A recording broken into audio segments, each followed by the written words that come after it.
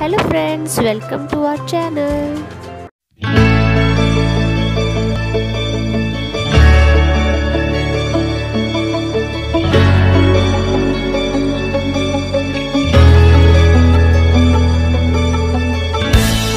तो आज हम बनाने जा रहे हैं ब्रेड पकोड़ा।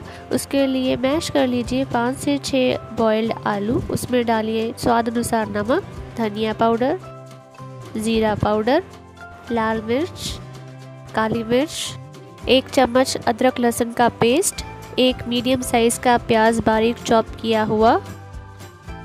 और साथ ही में डाल देंगे खूब सारा धनिया। और इन सबको अच्छे से मैश कर लेंगे ताकि सब कुछ अच्छे से मिक्स हो जाए। तो हमारा फिलिंग जो है वो रेडी है।